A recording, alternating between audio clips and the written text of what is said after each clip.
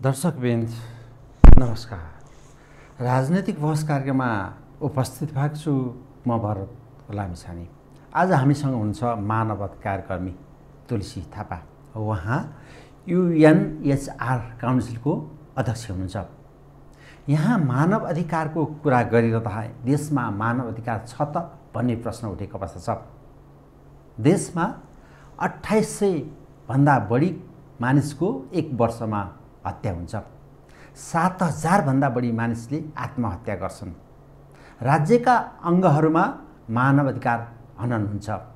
चाहे प्रहरी प्रशासनदेखि न्यायालयसम्म पुग्दा पनि त्यहाँ मानव अधिकार हनन भइराखेका छन्। पीडितले समयमै न्याय पाउँदैनन् उल्टो पीडित चाहिँ रोएर फर्किनुपर्ने अवस्था छ। जसरी मानव अधिकार हनन सङ्ख्या अहिले बढ्दो अवस्थामा छ। यो समाजमै पनि मानव अधिकार हनन हुने गरेको छ। अर्काको अधिकार दुरुपयोग व्यापक रूपमा हुन्छ। यो अवस्थामा मानव अधिकारको रक्षा कसरी गर्न सकिन्छ त? नेपालमा मानव अधिकारको रक्षा कसरी गर्न सकिन्छ? कसले कसले यसमा योगदान गर्नुपर्छ? राजनीति र मानव अधिकारको सम्बन्ध कस्तो छ? राजनीतिले देशको राष्ट्रको नीति बनाउने हो। नीतिलाई गाइडेड गर्ने हो। तर राजनीतिले मानव अधिकारलाई कुन रूपमा हेर्नुपर्छ? अहिले हत्या हिंसामा संलग्नहरूको पनि अदालतले तोकेको कसुर सजाय नभोगिकन बाहिर मिना गरिन्छ। यस्तो अवस्थामा मानव अधिकारको पनि त्यहाँ हनन भएको छ भने कयौँ जेलभित्र त्यहाँ बन्दीको मानव अधिकार हनन पनि भइराखेको अवस्था यी र यस्ता सवालमा देशको राजनीति समग्र अवस्थाको विषयमा हामी कुराकानी गर्नेछौँ। मानव अधिकार कर्मी तुलसी थापा उहाँ युएनएसआर काउन्सिलको अध्यक्ष हुनुहुन्छ। यहाँलाई कार्यक्रममा स्वागत गरेँ। धन्यवाद। हजुर। अब मानव अधिकार कर्मीहरू तपाईँहरू हुनुहुन्छ। मानव अधिकार नेपालमा छ त भन्ने प्रश्न सवाल आज गम्भीर रूपले उठेको छ। यो नितान्त जरुरी कुरा हो। जसरी अहिले मानव अधिकारको कुरा विश्वव्यापी रूपमा उठिराखेको बेलामा नेपालको मानव अधिकारको अवस्था चाहिँ साह्रै दयनीय अवस्थामा छ। किन भन्दाखेरि यहाँ जुन किसिमबाट संविधानमा संविधानले दिएको प्रदत्त अधिकार नागरिकले उपभोग गर्न पाइरहेको छैन बोल्न पाउने अधिकार आफ्नो काम गर्न पाउने अधिकार उनीहरूलाई मानव अधिकारभित्र पर्ने नैसर्गिक अधिकारबाट पनि नेपाली नागरिकहरू वञ्चित भएको स्थिति देखिन आएको छ। यो एउटा सेक्टरबाट मात्रै होइन विभिन्न सेक्टरबाट पनि यो कुरा चाहिँ प्रष्ट रूपमा आज देशमा देखिएको छ। जसले गर्दाखेरि यो चाहिँ अराजक स्थिति हुँदै जाने हो भने भोलि गएर विश्व सामु नेपाल चाहिँ एउटा यस्तो गरिब राष्ट्रमा परिणत हुने स्थिति छ। यहाँको आर्थिक अहिलेको मन्दीको कारणले गर्दाखेरि भएका देशका उद्योग धन्दाहरू नागरिकहरूले सुरक्षित भएर हामी चाहिँ आफ्नो मुलुकमा हामी स्वतन्त्र रूपमा रहेका छौँ र हामीले मानव अधिकारको सही उपयोग गर्न पाइरहेका छौँ संविधानमा उल्लेख भएको आधारबाट भन्ने कुराको अनुभूति गर्न पाइरहेको अवस्था छैन। त्यसले गर्दाखेरि के देखिन्छ भन्दाखेरि यही स्थिति यस्तै रहिरह्यो भने नेपालको भविष्य भयावह हुने सम्भावना इङ्कित गर्दछ। त्यसले गर्दा राज्य पक्ष र यहाँ आम नागरिक र विभिन्न राज्यको जुन संयन्त्र छ त्यो चाहिँ एउटा इमान्दारीपूर्वक मुलुकको जनताको र देशको हितमा भनेर उहाँहरू काम गर्नुपर्ने ठाउँमा अहिले के देखिएको छ भन्दाखेरि यो चाहिँ राज्य स्टेट भनेको चाहिँ एउटा त्यस्तो कम्पनी हुनुपर्ने ठाउँमा अहिले चाहिँ यो चाहिँ यहाँ यहाँ भइरहेको व्यवस्था चाहिँ कस्तो भयो भने एउटा चाहिँ एजेन्टले गर्ने काम जस्तो भइरहेछ। देशको विभिन्न सेक्टरमा जनताले मानवाधिकार भएका मुलुक छ नि जस्तो चाहे हाम्रो छिमेकी मुलुक भारत होस् अब अमेरिकाको त कुरै नगरौँ त्यहाँ त मानव अधिकार हनन हुनै पाउँदैन। हरेक मानिसको आफ्नो अधिकार छ हरेक तहमा होइन? अब त्यो मानव अधिकार हनन नहुन मा जस्तो मानव अधिकार रक्षा गर्नको लागि जस्तो कुनै मानिसलाई त्यहाँ कसैले अधिकार दुरुपयोग गर्न खोज्यो त्यो व्यक्ति अदालत जान्छ। अदालतले तत्काल उसलाई क्षतिपूर्तिसहित उसको मानव अधिकार रक्षा गरिदिन्छ। प्रजातान्त्रिक मुलुकहरूमा तर नेपालमा चाहिँ अब जसरी मानव अधिकारको हनन छ नि यो हनन हुनेमा चाहिँ कस कसको दोष छ ल बताइदिनुहोस् अब यसमा प्रष्ट रूपमा भन्नु पऱ्यो भने यसमा राज्य गम्भीर छैन र राज्यबाट जुन किसिमको मानव अधिकार रक्षाको लागि पहल हुनुपर्ने त्यो कुरा हुन सकेको छैन। त्यसमा यो कानुनी प्रक्रियामा जुन हाम्रो न्याय प्रणाली छ त्यो न्याय प्रणालीमा पनि ठुलो गम्भीर ऊ छ त्रुटि छ। किन भन्दाखेरि अघि हामीले यही आँखा अगाडि हाम्रै सामुन्यमा विगत यो दुई महिना अगाडि मात्रै पनि जुन सन्माननीय राष्ट्रपतिज्यूबाट यो कैदीबन्दीहरूलाई चाहिँ त्यसमध्ये आचरण राम्रो भएर उहाँहरूले पाउने यो पेरोलबाट छुट्ने अथवा त्यहाँ माफी दिने माफी मिना दिन सक्ने अधिकार सरकारलाई भएकोमा संविधानमा उल्लेख भएअनुसार त्यस्तो व्यक्तिहरूलाई आम माफीमा चाहिँ आम माफी दिइएको छ जसले गर्दाखेरि यहाँ चाहिँ आन्दोलन भएर विभिन्न प्रकारको पुनः अदालतबाट रिहा भएको व्यक्तिलाई पनि पुनः उसलाई चाहिँ फेरि कारागार चलान गरिएको छ ऊ जेलमा गएको छ। भनेपछि यस्तो किसिमको प्रवृत्तिले नै यहाँ मानव अधिकारको स्थिति के छ भनेर संलग्न देखाइरहेको छ मैले अघि एउटा प्रस्तुत गरेँ नि डरलाग्दो हजुर। आँकडा तथ्य है यो। अठाइस सय मानिसको वर्षमा हत्या हुँदो रहेछ। प्रहरीमा आएका विवरण अनुसार सात हजारभन्दा बढी मानिसकोले आत्महत्या गर्दो रहेछन्। त्यो आत्महत्याका पछाडि विभिन्न कारण छन्। कोहीले खान नपाएर कोहीले आफ्नो व्यवसाय गर्न नपाएर व्यवसायमा घाटा गएर कसले उसको मानसिक सन्तुलन गुमाएर अनेक अनेक तरहले गरिबीका पीडा बेरोजगारीका पीडा सारा पीडाबाट आत्महत्या गर्ने सङ्ख्या डरलाग्दो छ। यो दुईवटा तथ्याङ्क मात्रै हेर्ने हो भने नि झन्डै झन्डै वर्षमा दस हजार हारिमा चाहिँ यहाँ मानिसहरूको ज्यान जान्छ अकालमा ज्यान जान्छ दुर्घटना बाहेक विषयमा। यो डरलाग्दो मानिस अब यी दस हजार मानिसका मानवाधिकार कहाँ गयो त? यस्तो छ यहाँ के छ प्रष्ट रूपमा भन्दाखेरि राज्यले जुन किसिमको मानव अधिकारको रक्षाको लागि पहल गर्नुपर्ने र विभिन्न निकायहरू छन् मानव अधिकारको संरक्षणको लागि भनेर हामी एनजिओ आइएनजिओ मार्फत जुन काम गरिरहेछ अन्तर्राष्ट्रिय मानव अधिकार सङ्गठनबाट जुन किसिमलाई चाहिँ यसलाई निर्देशित गरेको छ त्यसको परिपालन यहाँ हुन सकिरहेको छैन।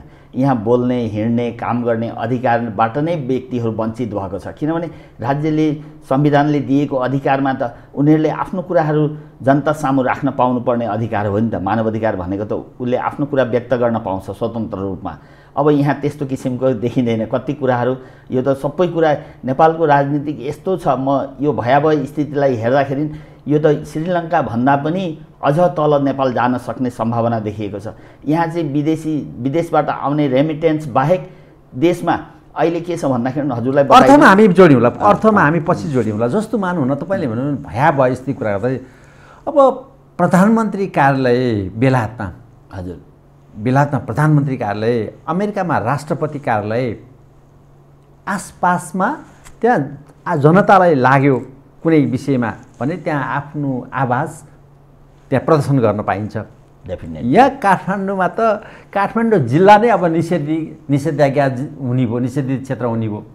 यो यो अवस्था यहाँ यहाँ अनि यहाँ चाहिँ मानव अधिकारको कुरा गरेर तपाईँहरू जस्तो चाहिँ अब सङ्घ संस्था जो छ नि हजुर। गैर सरकारी सङ्घ संस्थाहरू तपाईँहरू तपाईँहरूले यो मानव अधिकार सम्बन्धी गैर सङ्घ संस्था चाहिँ स्थापना गर्नुको त तुकै रहेन नि त यहाँ। पक्कै कुरा हो। यहाँ के छ भन्दाखेरि यहाँ चाहिँ हरेक पार्टीको चाहिँ यहाँ मानव अधिकार छ।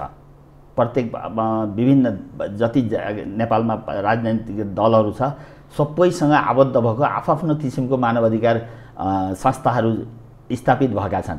यो मानव अधिकार भनेको कुनै राजनीतिक दलको एउटा पार्टीको एउटा किसानले गर्ने खेती गर्दाखेरि चाहिँ उसले आफ्नो हल गोरु हलो आफ्नोलाई चाहिने सामानहरू जुन राख्छ। त्यस्तो किसिमको यहाँ भइरहेछ। यो चाहिँ यो एउटा जमिनदारी प्रथा जस्तो यो यस्तो हुनु हुँदैन। भनेपछि प्रत्येक पार्टीको निकट मानवाधिकार सङ्गठन जस्तो गरे मानवाधिकारवादी सङ्घ संस्थाहरू छन् आबद्ध छ। एनजिओ आइएनजिओ चलिरहेछन् पक्कै कुरा। एकदम त्यो त आँखा अगाडि एकदम ओपन छ। नेकपा नेकपा एमालेको छ। छ एकदम छ। सबैको छ। यहाँ कुनै पार्टी बाँकी छैन। कङ्ग्रेस एमाले माओवादी र हरेक पार्टीको यहाँ निष्पक्ष भएर मानवाधिकारको सेक्टरमा काम गर्छु भनेर एकजनाले अगाडि आएर भन्न सक्ने स्थिति आजको नेपालमा छ तपाईँको यो संस्था छ नि U UNHR council. UNHR council यो चाहिँ तपाईँहरू कुन पार्टीमा आबद्ध हुन्छ हामी कुनै पार्टीमा आबद्ध छैनौँ। मैले अहिलेसम्म मानवाधिकार सेक्टरमा काम गरेको छब्बिस वर्ष चान्चुन पुग्न लाग्यो। मैले अहिलेसम्म कुनै विदेशी दात्री संस्थासँग एक सेन्ट पैसा लिएको छैन राज्यसँग एक कन्ची पैसा लिएको छैन म व्यक्तिसँग चन्दा नलिएर काम गरेको व्यक्ति हो।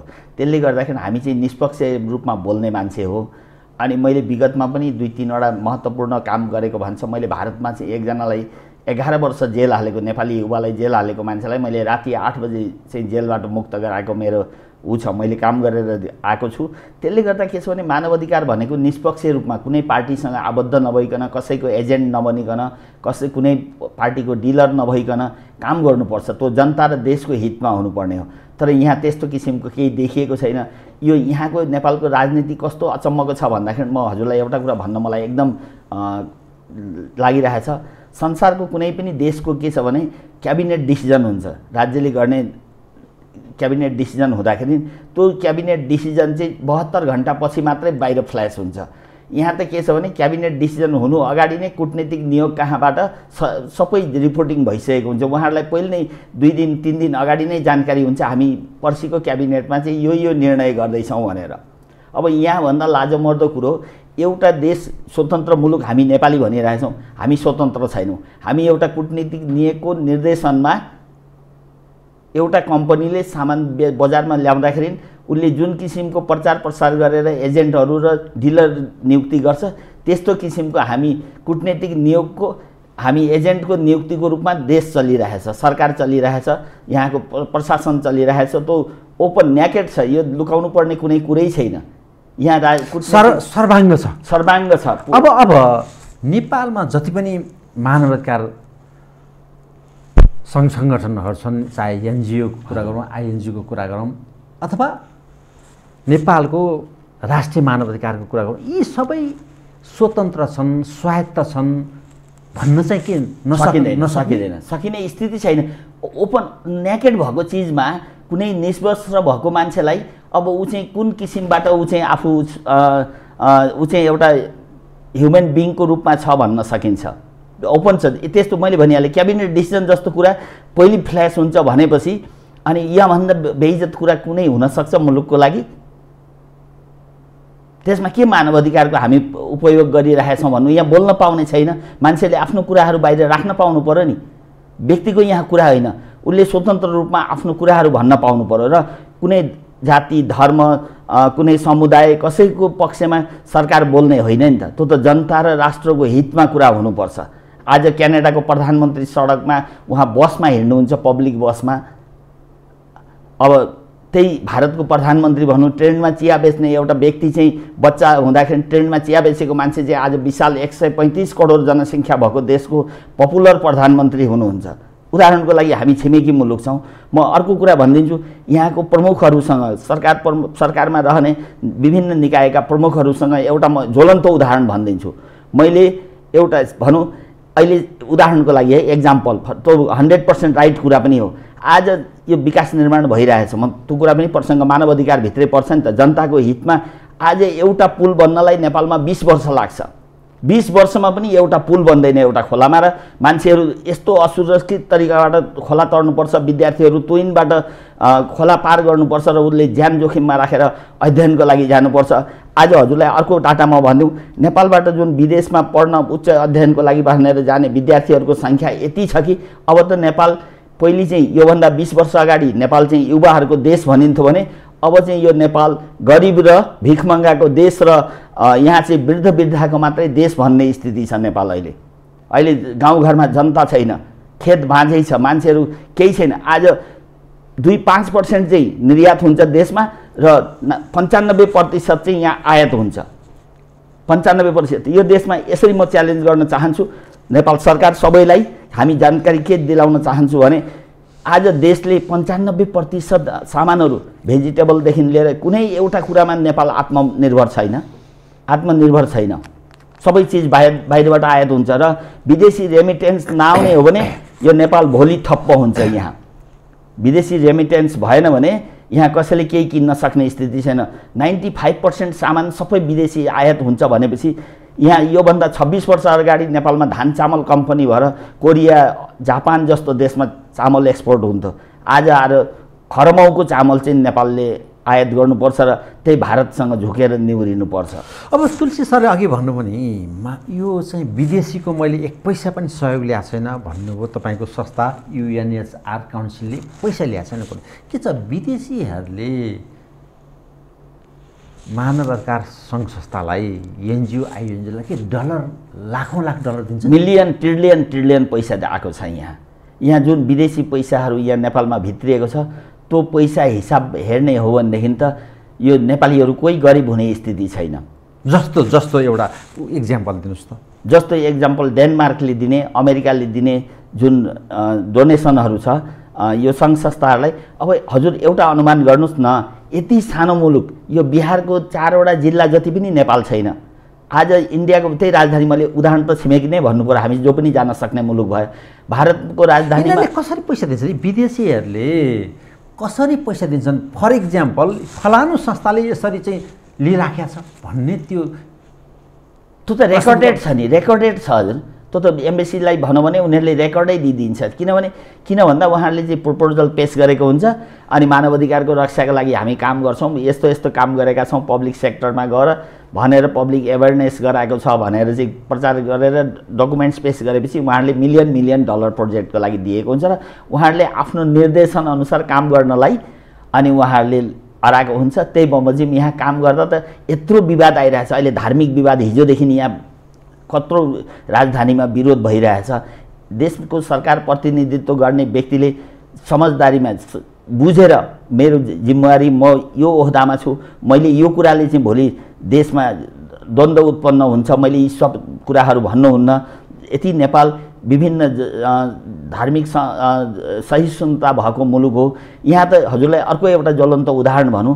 छब्बिस सय छब्बिस सय पचासी वर्षभन्दा अगाडि नै नेपालमा मानव अधिकारको जग बसेको रहेछ किनभने गौतम बुद्ध त्यस्तो व्यक्ति जन्मिनुभयो जसले आज विश्व आधा विश्व झुकेर उहाँलाई शिर निहुराउँछ उहाँको नाम लिँदाखेरि गौतम बुद्ध भनेपछि। एउटा एउटा किरा फट्याङ्ग्रा जीव जन्तुको पनि उसको अधिकार बाँच्न पाउने अधिकार हुन्छ त्यसलाई हत्या गर्नुहुन्न त्यसलाई कुल्चिनुहुन्न भन्ने त्यो एउटा जागरण उहाँमा जाग्यो। जागेको थियो। छब्बिस सय छयासी वर्ष अगाडि त्यसरी नेपालबाट चाहिँ त्यस्तो मानव अधिकार अहिले आएर त यो त एक शताब्दी पनि भएको छैन जुन मानव अधिकारको लागि ह्युमन राइट्स भनेर कुरा निस्किएको तर त्यति बेर नै गौतम बुद्धले त्यो कुरो प्रतिपादित गरेर विश्वमा चाहिँ त्यस्तो शान्ति फैल्याएको व्यक्ति जन्मेको देश नेपाल आज गौतम बुद्धको देश भनेर नेपालले ठाडै भन्न सक्ने स्थिति छैन।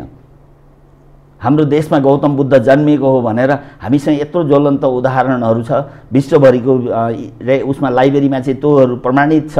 तैपनि हामी त्यो कुराको एकदम प्रमाणित गरेर भन्न सक्ने हाम्रोमा तागत छैन। किनभने हाम्रो नेताहरूमा त्यो गट्स भएन भनेको उहाँहरू चाहिँ एजेन्टको रूपमा मात्रै कहीँ एजे प्रस्तुत हुन थाल्नुभयो। कुनै मुलुक जान मानव अधिकारको कुरा गरेर नि हजुर। जाजरकोटको कुरा गरौँ रुकुमको कुरा गरौँ नि भूकम्प प्राकृतिक प्रकोप कसले रोक्न सक्दैन त्यसलाई न्यूनीकरण गर्ने हो। त्यो प्राकृतिक प्रकोपपछि पनि झन्डै झन्डै तिन दर्जन मानिसले मृत्यु भयो जबकि त्यहाँ एउटा ओछ्यान न्यानो नभएको कारणले चिसोको कारणले तिन दर्जन मानिसको मृत्यु भइसकेको अवस्था छ भूकम्पपछिको अवस्थामा। यो डरलाग्दो अवस्था। ती ती मानिसहरूको मानव अधिकारको कुरा गऱ्यो भने कसले जवाफ दिने त यो कसले ज तपाईँहरू जस्ता सङ्घ संस्थाले जवाफ दिने कि यो राज्यले जवाफ दिने कि राष्ट्रिय मानव अधिकार आयोगले जवाफ दिने कि? अब राष्ट्रसङ्घीय युएनएचआरसीले जवाफ दिने कि कसले जवाफ दिने?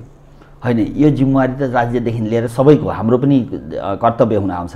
हजुरलाई एउटा कुरा म भनौँ जाजरकोटमा अहिले पनि हिमाली भेगमा पन्ध्र पर्सेन्ट मान्छेले राहत पाएको छैन। आज पनि त्यहाँ भुकमरी छ तर त्यहाँ त्यो सामान पु सामग्री पुगेको छैन।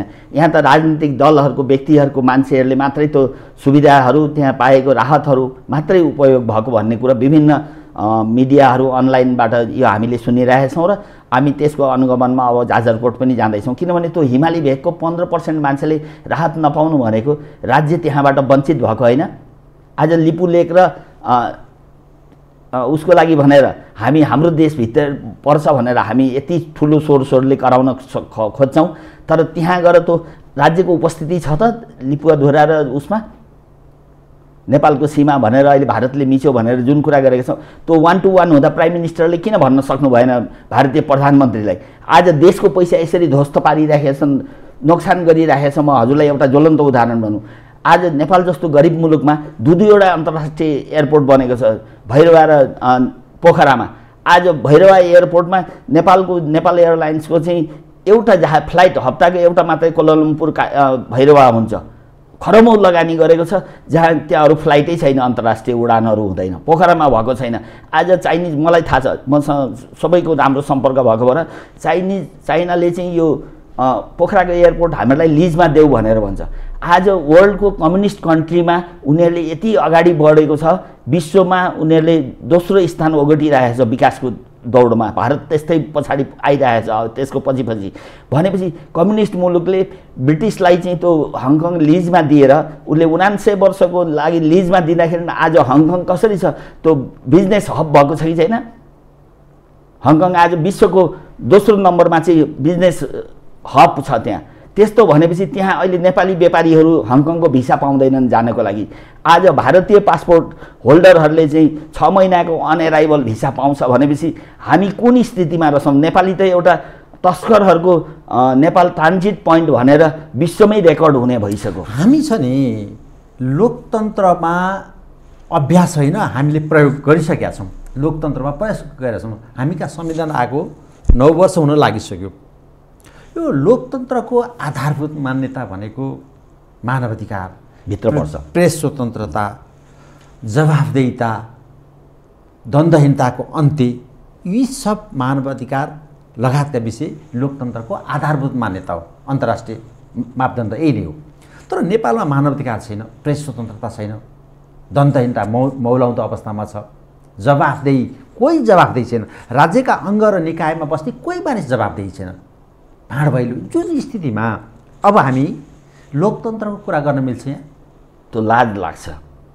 लाज लाग्छ। यति सानो मुलुकमा अब मैले हजुरलाई भनिसकेँ यहाँ निर्यात पाँच पर्सेन्ट र आयात पन्चानब्बे पर्सेन्ट भएको मुलुकमा हामी कसरी खाए बाँचिरहेछौँ भनेको यो का राजधानीमा मात्रै हजुरलाई भनौँ विकास निर्माणको त कुरो ठप्पै गरिदियो।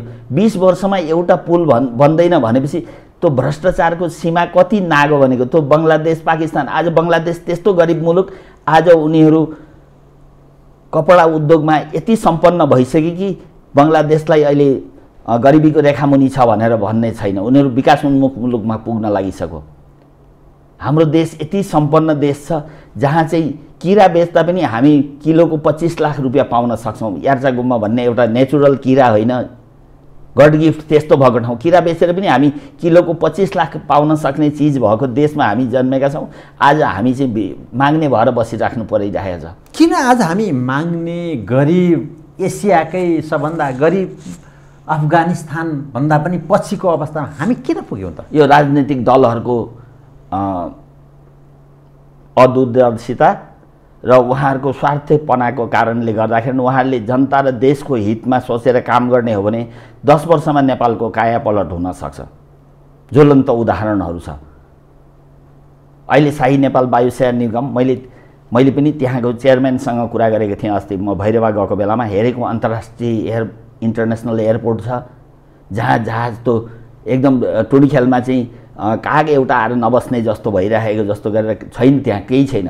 डोमेस्टिक फ्लाइट मात्रै हुने भनेपछि मैले किन यस्तो भयो? तपाईँहरूले आरएलले चाहिँ यो नेपाल एयरलाइन्सले चाहिँ त्यहाँ चाहिँ फ्लाइट गरिदियो हुँदैन दिल्ली काठमाडौँ यो भैरवा गरिदियो भने पनि हप्ताको तिनवटा फ्लाइट गऱ्यो भने कम्तीमा मान्छेहरू हजारौँको सङ्ख्या आउन सक्छ भनेर भन्दाखेरि हामीसँग जहाजै छैन अरे।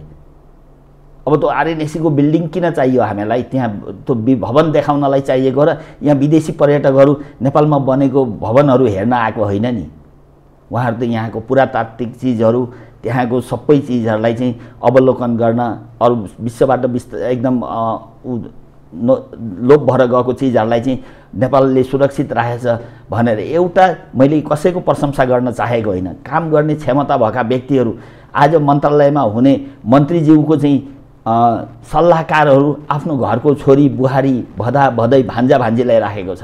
त्यहाँ त विज्ञ मान्छे चाहिने होइन। त्यही बङ्ग पाकिस्तान बङ्गलादेश भुटान मालदिप्स यो यो यो कुरा गर्ने विज्ञको कुरा गर्ने भने मानिसलाई शिक्षा दीक्षा दिने विश्वविद्यालयहरू त्यहाँ कोटा विद्यार्थी भर्नामा कोटाको नाममा त्यहाँ लाखौँ लाख असुल्छन् त्रिभुवन विश्वविद्यालयको कुरा गरौँ चाहे अरू चाहिँ काठमाडौँ विश्वविद्यालय र अन्यत्र विश्वविद्यालयहरू त्यहाँ भ्रष्टाचार व्यापक हुन्छ। विद्यार्थी र अभिभावकलाई त्यहाँ शोषण गरिन्छ। जुन खालको कोटाको नाममा विद्यार्थी भर्नामा त्यहाँ लाखौँ लाख असुल जुन खालको अवस्था अब शिक्षा दीक्षा दिने ठाउँमै छ त अनि यो त्यस्तो खालको शिक्षा दीक्षा दिने संस्था नै अपवित्र छ भने अनि देश कसरी पवित्र हुनसक्छ एकदम हन्ड्रेड पर्सेन्ट। हजुर कुरामा एकदम म सहमत। किन भन्दाखेरि यहाँ जुन उच्च शिक्षाको लागि विदेश जान्छन् नि विद्यार्थीहरू देशको ढुकुटी त्यसै रितिएको छ। घरको घर जग्गा सम्पत्ति सबै ब्याङ्कको नाउँमा छ। आज एउटा उदाहरण हजुरलाई भनौँ। ब्याङ्कले दिनहुँ पाँच हजारदेखि दस हजार मान्छेहरूको घर लिलामको चाहिँ नोटिस निकाल्छ। यहाँ काठमाडौँको सत्तरी पर्सेन्ट घर ब्याङ्कको लोनमा छ। र विद्यार्थीहरू जुन उच्च शिक्षा भनेर जान्छन् विदेशमा चाहिँ उनीहरू घरेलु कामदारको रूपमा पनि काम गर्नुपर्ने बाध्यता छ विभिन्न देशमा। र ती गएका विद्यार्थीले केही पर्सेन्टले उच्च शिक्षा हासिल गरे पनि त्यहाँको विद्यार्थीको जीवन स्थिति हेर्ने हो भने यति भयावह छ नेपालको कारागार सम्झिए हुन्छ। यहाँको कारागार विश्वमा यस्तो कारागार जम्मा चौधवटा देशमा मात्रै छ। यहाँ क्षमता छ दुई सय पैँसठीजना त्यहाँ कैदीबन्दी छन् नौ सय हजारजना यही राजधानीकै कारागारहरूको स्थिति हेर्ने हो भने यति भयावह छ त्यो भनेर साध्य छैन। अब अपराध बढ्दो छ समाजमा। मानिसले मानिसलाई शोषण गर्ने ठग्ने लुट्ने यी सारा क्राइम बढ्दो छ। अब सबैलाई अट्ने जेलै नपुग्ने स्थितिमा छ अझ भ्रष्टाचारीलाई त जेल हाल्ने हो भने यो देशका सबै सरकारी कार्यालयलाई जेल बनाउँदा पनि त्यहाँ नपुग्ने अवस्था डरलाग्दो अवस्था छ। यो भयावह स्थिति छ। अब यसलाई कसरी कसरी विकल्प के गर्ने? कसरी चाहिँ यो सारा देशलाई सुशासनतिर लैजाने कसरी लाने त्यो? होइन यसलाई चाहिँ राजनैतिक नेताहरूमा एउटा नैतिकता हुनु पऱ्यो र देश र जनताको हितमा उहाँहरूले कटिबद्ध हुनु पऱ्यो कि हामी देश र जनताको हितमा हामी काम गर्ने भनेर आएका छौँ। अब यहाँ एउटा कुरा म हजुरलाई भनौँ यति सानो मुलुक अनि जहाँ चाहिँ नौ सय चालिसजनाभन्दा बढी सांसदहरू देशमा हुनुहुन्छ र उहाँहरू स्थानीय तहदेखि लिएर सबै जुन नियु हुनुहुन्छ जनप्रतिनिधि उहाँहरू सबै कर्मचारी जस्तै तलब भत्ता महिनाको तलब भत्ता बुझ्नुहुन्छ। तलब मात्रै खाइदिँदा देश स्वर्ग हुन्थ्यो तल भ्रष्टाचार कमिसन उपभोक्ता संस्थाको नाममा उपभोक्ता सङ्घ संस्थाको नाममा त्यहाँ कमिसन भागबन्डा अब स्थानीय तहबाटै सुरु हुन्छ। यसमा एउटा कुरा छ। हजुरलाई अझ ज्वलन्त उदाहरण भनिदिनु मैले कर लाग्यो। के छ भन्दाखेरि यति सानो मुलुकमा यो प्रदेश भनेर एउटा जुन आइरहेछ हामी कहाँ? अब यो त मैले अघि नै भनिहालेँ बिहारको तिनवटा चारवटा जिल्ला जति पनि छैन जनसङ्ख्या काठमाडौँमा भएका जनतामा हजुरलाई रातिको भयावह स्थिति भनौँ। यहाँ चाहिँ के छ भने फिफ्टी पन्ध्र फिफ्टी पर्सेन्ट मान्छे एक छाक खाएर मात्रै बसिरहेछ राजधानीमा। राजधानीमा पचास प्रतिशत मान्छेले दुई छाक पेटभरि खान पाउने छैन। रोजगार छैन बेरोजगार गरिबी अनि आर्थिक मन्दी बजारमा कुनै पैसाको ट्रान्जेक्सन छैन। अहिले हजुरको खल्तीमा हजार रुपियाँ पैसा नहुन सक्छ। हजुरले तलब पाउने ठेगान छैन। कर्मचारीले अब तलब नपाउने स्थिति छ। जुन राजस्व सङ्कलनको छ त्यो भयावह स्थिति छ। यहाँ अर्थमन्त्री प्रधानमन्त्रीज्यूले यहाँ अर्थशास्त्रीहरूले भनेको कुरा सुन्यो भने त राति निन्द्र नलाग्ने स्थिति भइसकेछ। हाम्रो भोलिको भविष्य के छ भनेर विदेश जाने विद्यार्थी अरू रोजगारमा जानेहरूले नेपालको काहली लाग्दो अवस्था सुन्दाखेरि त बाबुआमा जीवित हुनुहुन्छ भनेर उहाँहरू कल्पना गर्न सक्ने स्थिति छैन। उपचारको नाउँमा भन्नुहोस् न हजुरलाई अर्को कुरा भनिदिउँ उपचारमा हाम्रो जस्तो पैसा जुन बाहिरबाट आएको छ त्यो पैसालाई फिफ्टी पर्सेन्ट मात्रै सदुपयोग गर्ने हो भने आज कुनै हस्पिटलले सरकारी हस्पिटलले फ्रीमा सिटामोल र यो ऊ दिन सक्दैन स्लाइन दिन सक्ने स्थिति छैन। किन त्यो भयो त? ऋणको थुप्रोले हाम्रो टुपी छोपिसक्यो। नेपालीलाई विदेशीले ऋण त्यति दिएको छ त्यो पैसा ऋण अहिले यो सहकारी ब्याङ्कहरूले जनताको पैसा जुन चाहिँ ऋण उठाउनलाई चाहिँ घर लिलाम गरेर मान्छेहरूले सुइसाइड गरेर यस्तो भयावह स्थिति भएको बेलामा अनि राज्यले लिएको विदेशीले ऋण दियो भनेर खुसी मान्ने त्यो ऋणले चाहिँ त्यो ऋणले गर्दा मान्छे डुबिसकेको छ पाताल भाँसिसकेको छ। नेपाली भनेर पहिले गौरव शिर ठाडो गर्नुपर्ने आज नुन खाएको कुखुरा जस्तो निहुरिएर हिँड्नुपर्छ नेपाली भन्दा। यो चाहिँ यो तस्करहरूको देश। यहाँ चाहिँ तस्करी मात्रै हुन्छ। सब यहाँ चाहिँ क्रिमिनल मान्छे मात्रै छन्। यहाँ कोही एउटा राम्रो मान्छे छ भनेर भन्ने स्थिति छैन। कुनै सेक्टर एउटा हजुर मलाई देखाइदिनुहोस् औल्याउनुहोस् र यो यति पपुलर टेलिभिजन मार्फत यो मेगा टेलिभिजनले जनताको मन जितेको छ। यस्तो टेलिभिजनबाट हामीले कुराहरू राख्न पाउनु भनेको मेरो लागि पनि गौरवको कुरा हो खुसीको कुरा हो। तर नेपालीको जीवन स्तर हुनु उठ्नु पऱ्यो नेपालीहरू सम्पन्न हुनु पऱ्यो आज संसारको मान्छेहरू देश आफ्नो मुलुक समृद्धि सम्पन्न गराउन राष्ट्रियता उनीहरूको नेसनको लागि भनेपछि उनीहरू मर्न तयार हुन्छ। आज नेपालीहरू आफ्नो देश हेरेर धिक्कार गरेर देशको प्रति प्रतिनिधित्व गर्ने व्यक्तिहरूलाई अनि थुकेर बस्नुपर्ने स्थिति छ। आज मन्त्रालयमा मन्त्री हुने मान्छेहरूले चाहिँ भ्रष्टाचार गरौँ भनेर भन्दा लाजमर्दो कुरा होइन।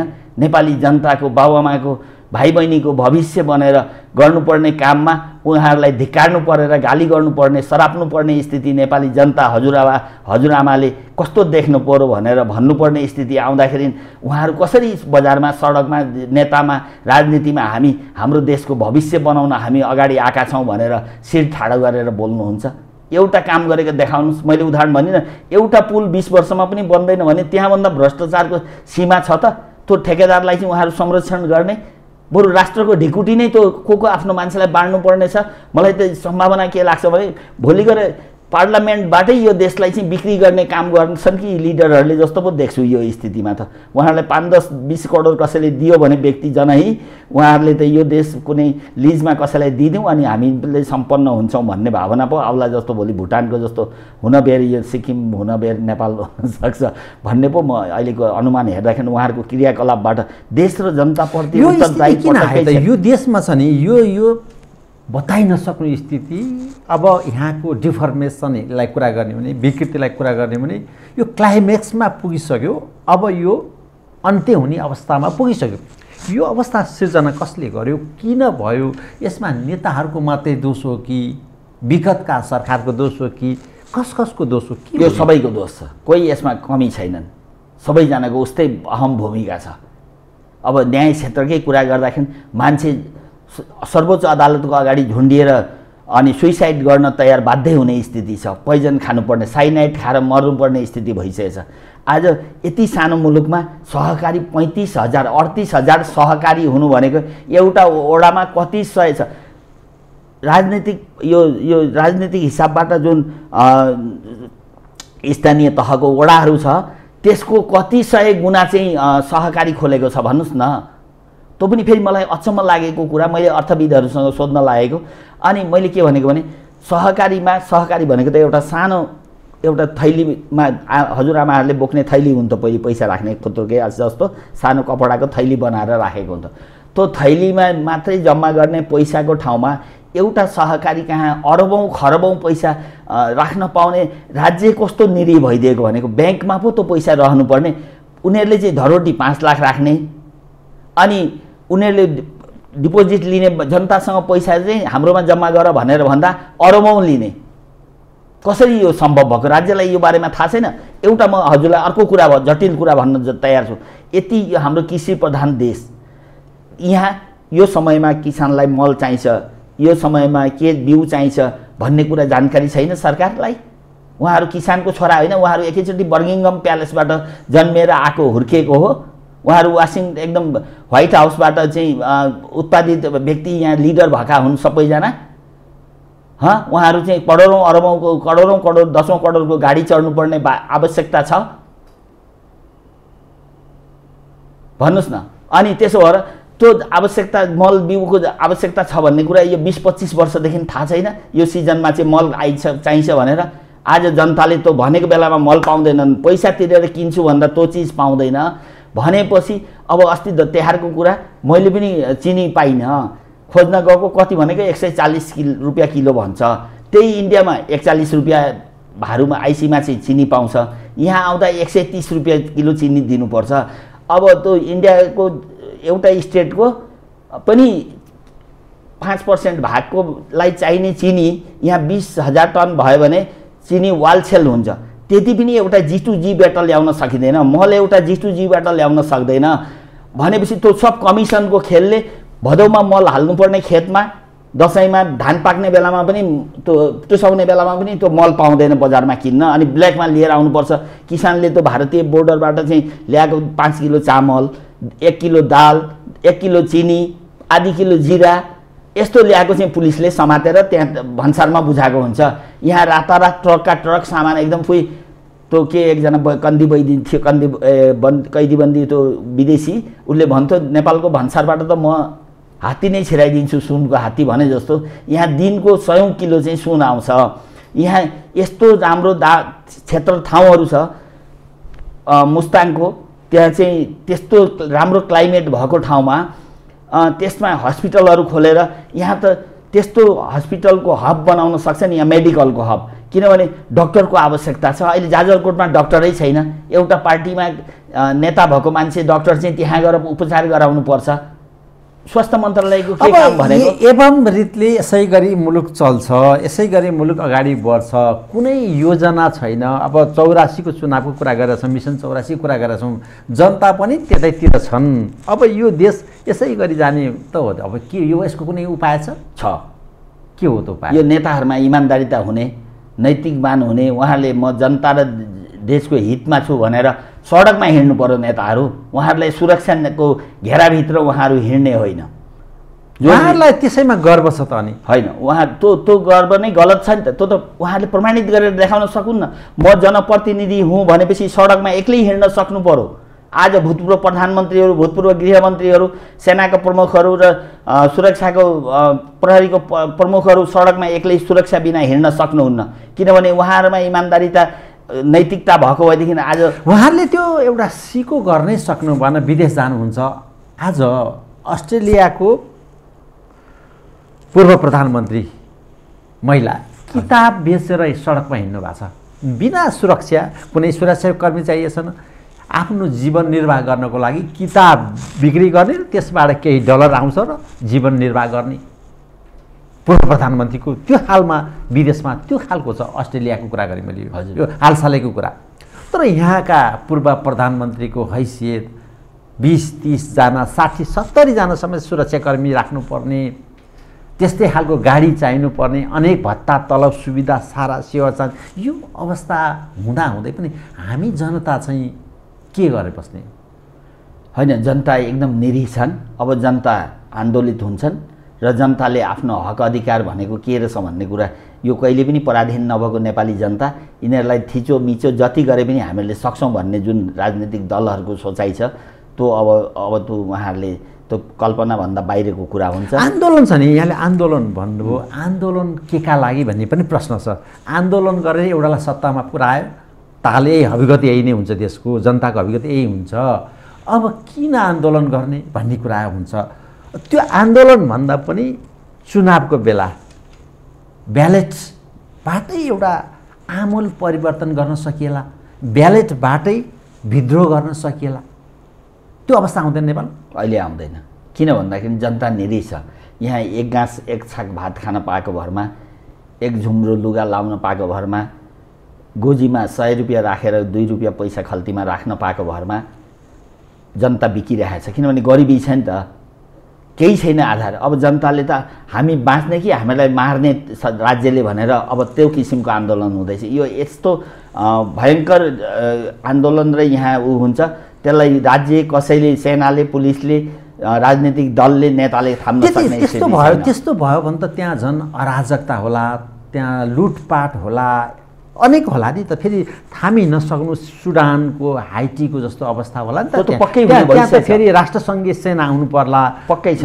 देश भन्ने चिज नहोला दुईवटा टुक्रा तिनवटा टुक्रा दक्षिण सुडान र उत्तर सुडान भने जस्तै होला। अनेक अनेक होला नि त त्यो अवस्था। आयो भने झन् झन् अराजक झन् त्यत्तिकै विद्रोह भयो भने त्यस्तो होला नि त। होइन हुने स्थिति भइसक्यो। हजुर आँखा अगाडि हजुर हेर्नु न मान्छे भोक भोकै मर्न लागिसके सुइसाइड गरिरहेछन्।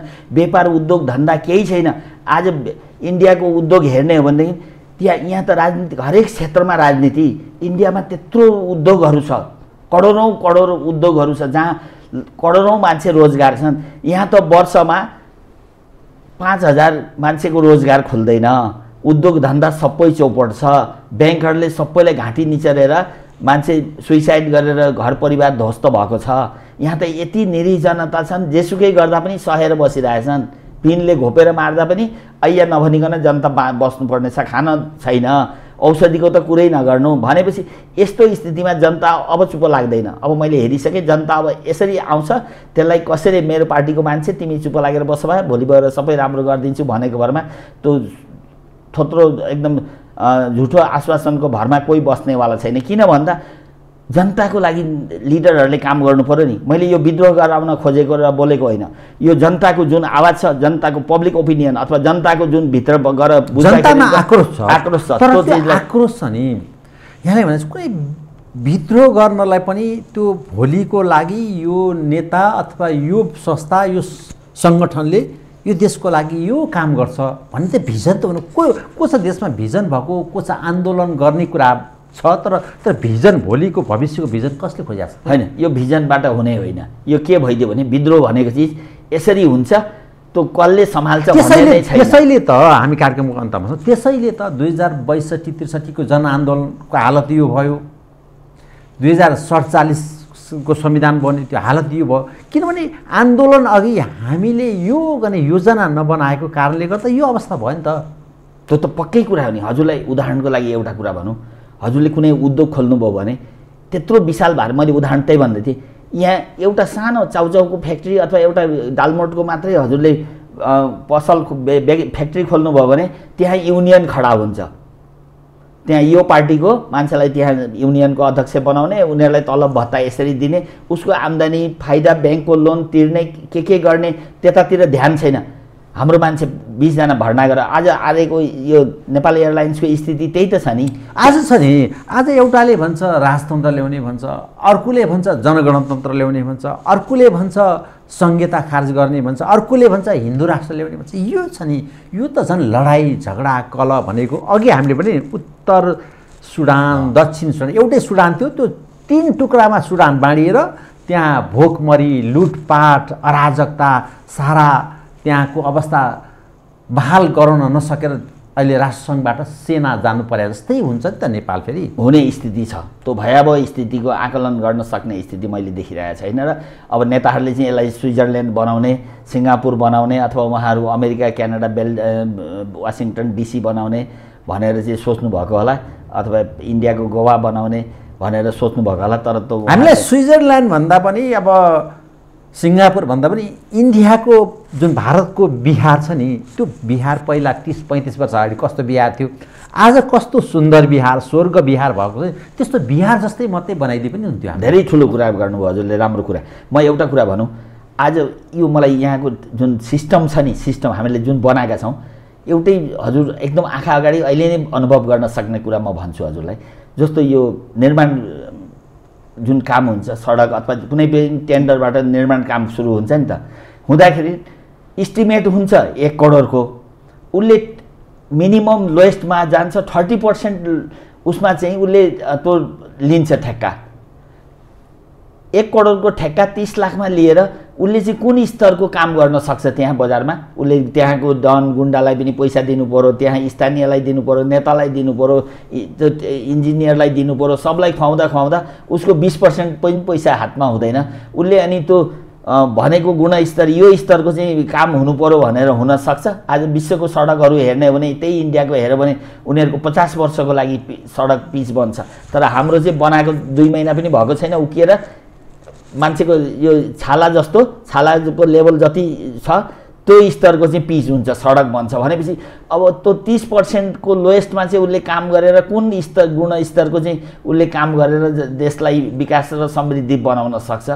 अब त्यही भएर यो यो लोएस्ट एकदम सबभन्दा त्योभन्दा तल गएर मात्रै हामी यो ठेक्का दिने भनेर भनौँ भने इस्टिमेट मैले हजुरलाई उदाहरणको लागि भने नि एक करोडको ठेक्का उसले काम गर्छ तिस लाखमा भनेपछि त्यो कुन स्तरको काम हुन्छ भनेर अनि हामीहरूले अपेक्षा गर्ने। अनि त्यो गराउने सरकार यहाँको नीति निर्माण गर्ने निर्माताहरू यहाँको विज्ञहरू उहाँहरू यत्र यत्र एकदम वरिष्ठ व्यक्तिहरू अनि उहाँहरूले के सोचेर चाहिँ त्यसरी काम गराउँदा पनि हामीले चाहिँ गुणस्तरीय काम हुँदैछ भनेर अनि यस्तो शिर ठाडो गरेर हामीले देशलाई चाहिँ यस्तो बनाउन खोजिरहेका छौँ समृद्ध सम्पन्न मुलुक एकदम स्वाभिमानी नेपाली भनेर भन्ने उहाँहरूले कल्पना गर्नुभएको होला के सोचेर जनतालाई भन्नुभएको?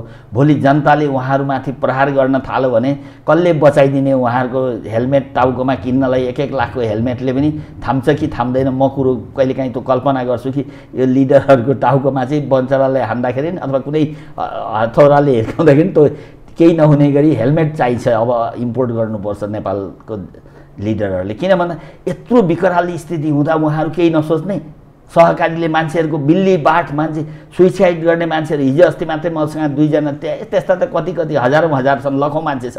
घरबार विहीन भएका। भनेपछि यहाँ त कस्तो भने व्यक्तिको हजुर सरकारमा हुनुहुन्छ हजुरको नजिकमा म छु नाता गोता अब केही छ भने अनि हजुरले सबै कुरा सुविधा त प्रिभिलेज यति पाउँछ कि भनेरै साध्य छैन।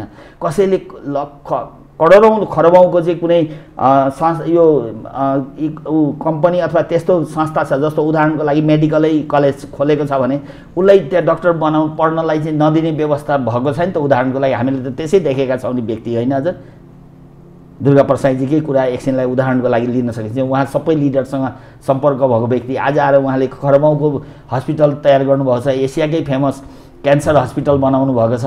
त्यस्तो बनाएको मान्छेले त्यहाँ एकजना डक्टर पढाउन पाउने स्वीकृति पाउँदैन। त्यो के यो व्यक्तिगत स्वार्थको कारणले त होला नि? नभए त सिस्टमले हुने भए त उहाँले त्यत्रो लगानी गरेर त्यत्रो हस्पिटल बनाउँदाखेरि होइन त्यस्तोमा त उहाँले त्यो डक्टर अरू चाहिँ साधारण हस्पिटलले पनि मेडिकल डक्टर उत्पादन गर्न पाउने उहाँले चाहिँ नै नहुने त्यस्तो पनि हुन सक्ला। समय दिनुभयो त्यसको लागि यहाँलाई धन्यवाद दिन चाहन्छु। थ्याङ्क यू सो मच हजुरलाई। यो यति पपुलर मिडिया मार्फत हामीहरूलाई मनमा लागेको कुरा र जनताको विचार कुराहरू प्रष्ट रूपमा राख्ने समय दिनुभएकोमा हजुरहरूलाई धेरै धेरै धन्यवाद। दर्शकबिन्द हामीसँग हुन्थ्यो मानव अधिकार कर्मी युएनएचआर काउन्सिलका अध्यक्ष तुलसी थापा। आजको कार्यक्रम यहीँ सकिन्छ। म लगायत सम्पूर्ण उनलाई बिदा दिनुहोस्। नमस्कार।